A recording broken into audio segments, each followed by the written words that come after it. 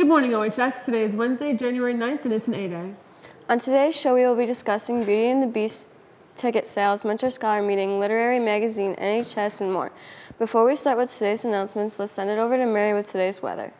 Thanks, girls. The morning will start in the high 20s with clouds remaining throughout the day until this evening. Now onto your five-day forecast. Through this week, it will be in the mid-30s with clouds. That's all for your weather. Now back to the desk with the rest of your announcements.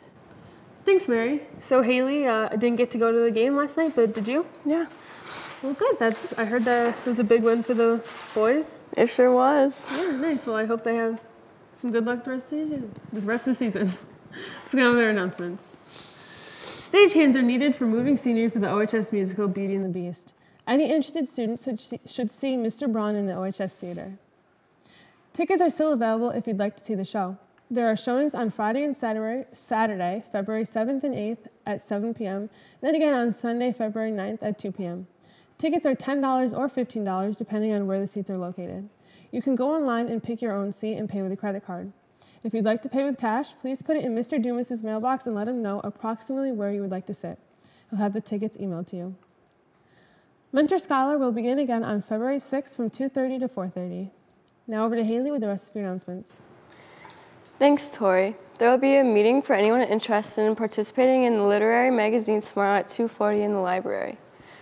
Attention sophomores and juniors, if you are interested in applying for National Honor Society, you must attend the mandatory informational session on Tuesday, February 4th at 2:40 in room 236. You cannot apply to NHS if you do not attend this meeting. If you are if you have any questions, please contact Mrs. Morse in room 143 or via email.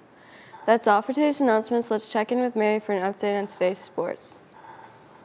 Thanks, girls. Last night, Sean, president, Sean Callan, president of the Buck Boosters, together with the Garrett Dunsmore Memorial Foundation, unveiled the new student fan section called the Crow's Nest, in memory of the late Garrett Dunsmore. T-shirts were distributed to the first 150 students who attended the game. There was a great turnout to support this worthy cause. There are no sports for today, but looking forward at the end of the week, the boys varsity hockey team has a big game on Friday where they will take on Auburn at the fort for their senior night. Plan to go to support the boys at 7. Have a great day, OHS.